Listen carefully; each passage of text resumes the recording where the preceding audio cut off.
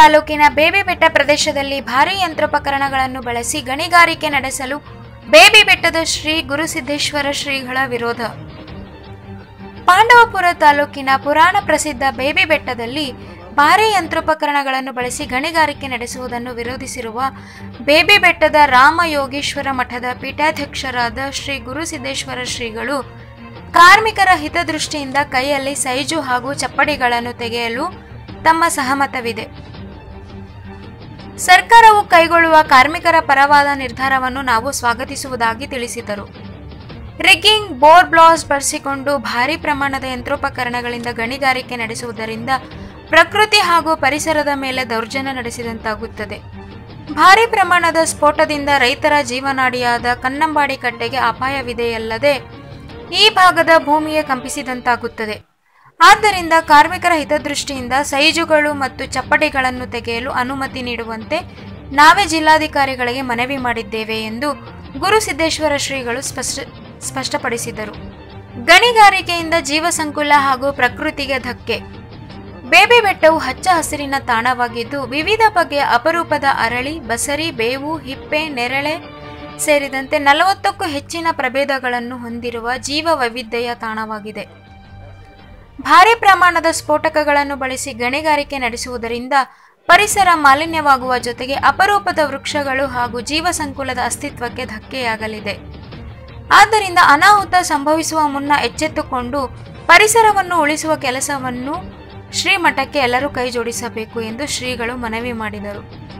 ಈ ಸಂದರ್ಭದಲ್ಲಿ ವಕೀಲರಾದ ನಾಗೇಶ್, ಸಾಮಾಜಿಕ ಕಾರ್ಯಕರ್ತ ಎಚ್ ಪಿ ಮಂಜುನಾಥ್, ಉದ್ಯಮಿ ಕೆ ಶ್ರೀನಿವಾಸ್ ಕಸಾಪ ಮಾಜಿ ಅಧ್ಯಕ್ಷ ಡಾಕ್ಟರ್ ಕೆಆರ್ ನೀಲಕಂಠ ಮತ್ತು ಈ ಭಾಗದ ಭಕ್ತರು ಉಪಸ್ಥಿತರಿದ್ದರು.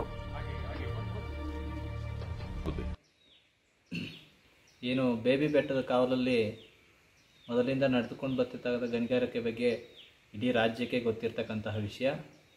ಅದರಲ್ಲಿ ಈ ಏನು ಬೇಬಿ ಬೆಟ್ಟದ ಸುತ್ತಲೂ ಕೂಡ ಕೆಲವು ಪ್ರದೇಶಗಳಲ್ಲಿ ಅತಿ ಹೆಚ್ಚಿನ ರೀತಿಯಲ್ಲಿ ಬ್ಲಾಸ್ಟನ್ನು ಮಾಡ್ಕೊಂಬರ್ತಿರ್ತಕ್ಕಂಥದ್ದು ಎಲ್ಲರಿಗೂ ಗೊತ್ತಿರ್ತಕ್ಕಂಥದ್ದು.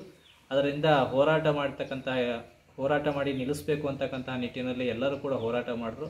ಅದರ ಪ್ರತಿಫಲವಾಗಿ ಇವತ್ತು ಸುಮಾರು ಐದು, ಆರು ತಿಂಗಳಿಂದ ನಿಷೇಧಾಜ್ಞೆಯನ್ನು ಹೂಡಿರ್ತಕ್ಕಂಥದ್ದು ಬೇಬಿ ಬೆಟ್ಟದ ಕಾವಲ ಸುತ್ತಲ ಪ್ರದೇಶದಲ್ಲಿ. ಆ ನಿಟ್ಟಿನಲ್ಲಿ ಈಗ ಏನು ಸ್ಥಳೀಯವಾಗಿರ್ತಕ್ಕಂತಹ ಕೂಲಿ ಕಾರ್ಮಿಕರು ಅದರಿಂದ ಸ್ವಲ್ಪ ತೊಂದರೆಯೂ ಕೂಡ ಆಗ್ತಾ ಇರ್ತಕ್ಕಂಥದ್ದು. ಯಾಕಂದರೆ ಬೇಬಿ ಬೆಟ್ಟದ ಸುತ್ತ ವ್ಯಾಪ್ತಿಯಲ್ಲಿ ಕಣ್ಣಂಬಾಡಿ ಕಟ್ಟಕ್ಕೆ ಬಂದಿರತಕ್ಕಂಥ ಕೂಲಿ ಕಾರ್ಯಕ್ರಮಗಳು ಒಂದು ನೂರು ವರ್ಷಗಳಿಂದ ಕೂಡ ಅವರ ಜೀವನವನ್ನು ಈ ಬೆಟ್ಟದ ಸುತ್ತಲಲ್ಲೇ ಸಾಗಿಸ್ಕೊಂಡು ಬರ್ತಾ ಇರ್ತಕ್ಕಂಥದ್ದು. ಹಾಗಾಗಿ ನಾವು ಮೊದಲು ಕೂಡ ಮನವಿ ಮಾಡಿಕೊಂಡಿರೋ ಹಾಗೆ ಸಣ್ಣ ಪ್ರಮಾಣದಲ್ಲಿ ಏನು ಗಣಿಗಾರಿಕೆಯನ್ನು ನಡೆಸೋಕ್ಕೆ ಮತ್ತು ಕೈ, ಕೈಯಿಂದ ಸೈಜು ಮತ್ತು ಚಪ್ಪಟಿ ಎತ್ತಕ್ಕೆ ನಮ್ಮದ ಅಭ್ಯಂತರ ಏನು ಇಲ್ಲ ಅಂತಕ್ಕಂಥದ್ದನ್ನು ನಾವು ಮೊದಲಿಂದ ಕೂಡ ತಿಳಿಸ್ಕೊಂಬಂದಿದ್ದೀವಿ ಈಗಲೂ ಕೂಡ ಆ ರೀತಿಯಲ್ಲಿ ತಿಳಿಸ್ತಾ ಇದ್ದೀವಿ. ಯಾಕಂದರೆ ಅತಿ ಹೆಚ್ಚಿನ ರೀತಿಯಲ್ಲಿ ಇಲ್ಲಿ ಬ್ಲಾಸ್ಟ್ ಮಾಡೋದ್ರಿಂದ ಪ್ರಕೃತಿಗೂ ಮತ್ತು ತೊಂದರೆ ಮತ್ತು ಕೆ ಆರ್ ಎಸ್ ಡ್ಯಾಮ್ ಹತ್ತಿರದಲ್ಲಿರ್ತಕ್ಕಂಥದ್ದು ಕೂಡ ಅದಕ್ಕೂ ಕೂಡ ತೊಂದರೆ ಆಗ್ತಾ ಇರತಕ್ಕಂಥದ್ದು, ಎಲ್ರಿಗೂ ಸಂಶೋಧನೆಯಿಂದ ವರದಿಯಾಗಿರ್ತಕ್ಕಂಥದ್ದು. ಆ ನಿಟ್ಟಿನಲ್ಲಿ ಏನು ಈ ಸುತ್ತಮುತ್ತಲ ಗಣಿಗಾರಿಕೆ ನಮ್ಮ ಅಭಿಪ್ರಾಯದಂತೆ ಸಣ್ಣ ಪ್ರಮಾಣದಲ್ಲಿ ಮತ್ತು ಕೂಲಿ ಕಾರ್ಯಕ್ರಮಕ್ಕೆ ಅನುಕೂಲ ಆಗೋ ರೀತಿಯಲ್ಲಿ ನಡ್ಕೊಂಡು ಹೋದರೆ ನಮ್ದು ಯಾವುದೇ ಥರದ ಅಭ್ಯಂತರ ಇರುವುದಿಲ್ಲ.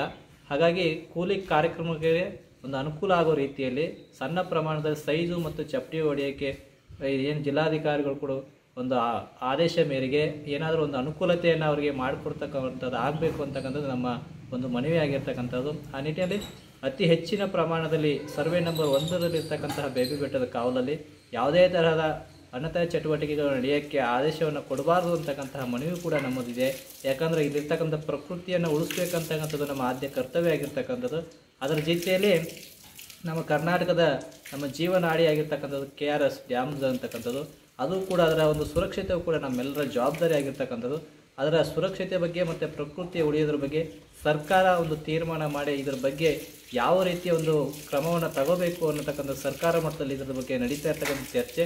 ಹಾಗಾಗಿ ಸರ್ಕಾರ ಇದರ ಬಗ್ಗೆ ಏನು ತೀರ್ಮಾನ ತಗೊಂಡ್ರು ಕೂಡ ಅದಕ್ಕೆ ನಮಗೆ ಸ್ವಾಗತ ಇರುತ್ತೆ. ಹಾಗಾಗಿ ಬಡ ಜನಗಳು ಕೂಡ ಅನುಕೂಲ ಆಗೋ ರೀತಿಯಲ್ಲಿ ಒಂದು ಏನಾದರೂ ವ್ಯವಸ್ಥೆಯನ್ನು ಮಾಡಬೇಕು ಅಂತಕ್ಕಂಥದ್ದನ್ನು ನಾವು ನಿಮ್ಮೆಲ್ಲ ಎಲ್ಲರ ಪರವಾಗಿ ಒಂದು ಮನವಿ ಮಾಡ್ಕೊತಾ ಇದ್ದೀವಿ.